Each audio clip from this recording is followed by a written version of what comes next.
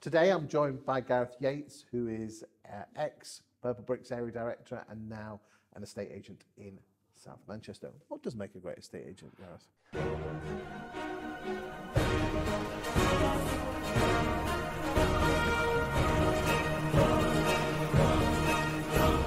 I think the thing that differentiates great estate agents to good estate agents is character quirks. They will have something about them that is unique, be it a forcefulness of personality, a bubbliness, or being data driven. They will have something that separates themselves out. Care to expand on that? So you look at some of the best estate agents I've worked with, you could give them the best presentation in the world, they will throw it out the window and they will run with what they see fit themselves. And that is a big differentiator. They're able to think for themselves and incorporate their own personality into the person they're seeing in front of them.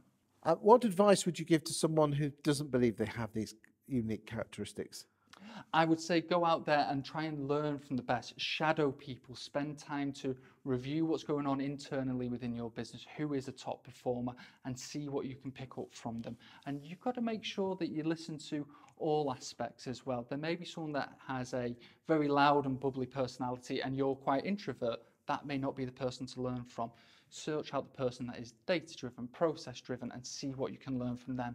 But you've got to constantly be learning to be a great estate agent. You've got to make sure that you're focusing on your professional development, and only you can drive that, regardless of whether you're employed or self employed. Thank you for your time today. Thank you.